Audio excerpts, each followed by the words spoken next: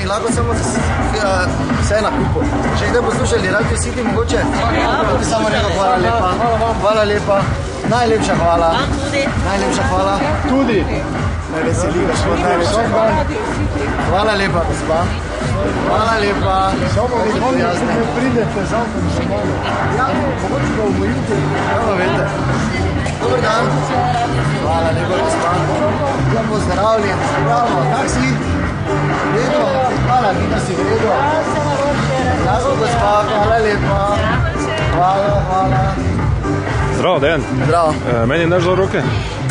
Če vaš obe zasedeni. Ja, Druge no. pa te ne, primo, prosti. verjamem. Obor?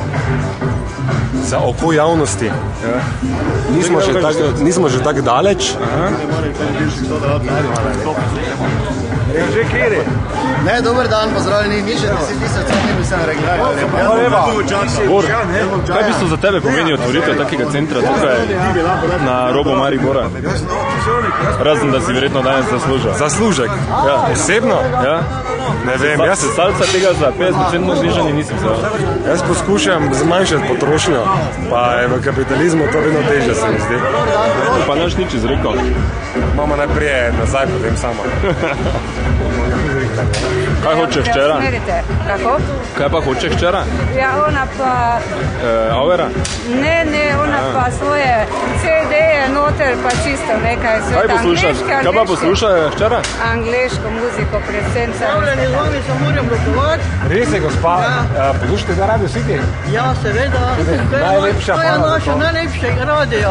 Resno? Ja. To tako se govori, hvala lepa. Hvala tudi vam. Eva Vilčnik, danes naš plesala. Ne. Veš, kaj me zanima? E, koliko rok si že dala? Skupaj. Kolikim sem se zahvalila, misliš? Ja. Um, čisto natančno ne vem, vem pa, da ima Bor v bistvu um, vse te uh, shranjene podatke. Ne? Ja. Ampak po povprečju pa mislim, da je okoli 200 na dan bilo na vsakega tu nekje, se mi zdi. Te boli kaj roka konc dneva? Ne, zato ker si lepo porazdelimo, 6 ur, 2 ure vsak na terenu, pa potem Se pravi dve uri fitnessa. ja, fitness je potem posebej. A to boš posebej? Ja. Dobro. Poslušajte za Radio City.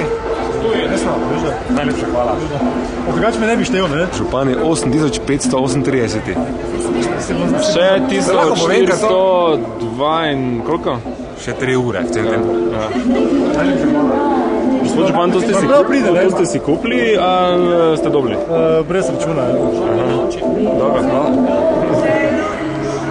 Kjer je po vrsti je gospod Kordež? Gospod Bine Kordeš ni noben po vrsti. Pravila igre prepoveduje, da bi se okoristil z denarjem, ki ga on pravzaprav da. No, mislite logično, zakaj bi si denar iz ženega žepa dal v drugega?